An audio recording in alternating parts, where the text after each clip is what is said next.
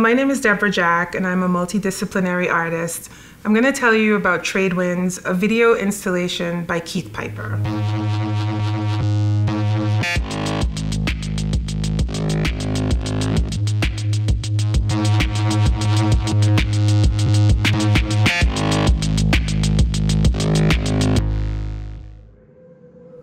So the work is made up of four crates that are um, aligned together.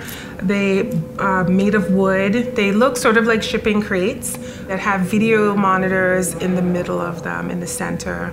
They're arranged almost like in the shape of a cross, where there's one image of a head, the two side images have the artist's hands, and then there's an image of a foot at sort of what would be considered the bottom. The video images inside the monitors are like sort of a video collage. They're layered.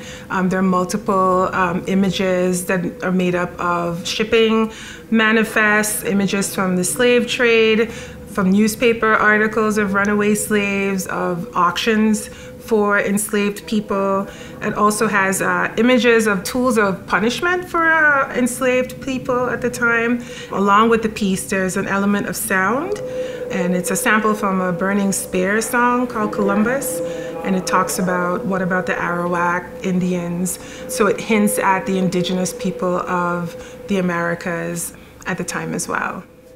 So I first encountered Keith Piper's work when I was a graduate student, and because I'm an artist from the Caribbean, I'm from St. Martin, it was one of the earlier works for me that engaged with video and multimedia and new media that talked about those issues of slavery, of post-coloniality, and the like. So the title trade winds I think ties into then the actual winds that are that ships use to travel across the Atlantic.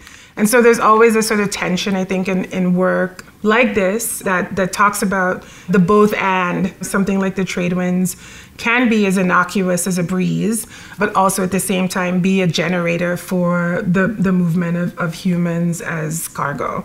I think what's powerful about this piece is the fact that it does take these images out of the archive, out of books, out of libraries, out of the museum, and sort of bring them to the forefront, but in a way that's so creative that maybe people don't realize that they're being taught a lesson. I think that's, you know, something that I do in my own work where um, there are these sort of powerful messages, but people resist them if they think they're being told something as opposed to experiencing it. Yeah, and I think it's important, right, because those economies that were established in those days are the economies that still exist today and that are thriving and they've sort of remade themselves, right? But they have their foundation, their financial foundation in that period of time.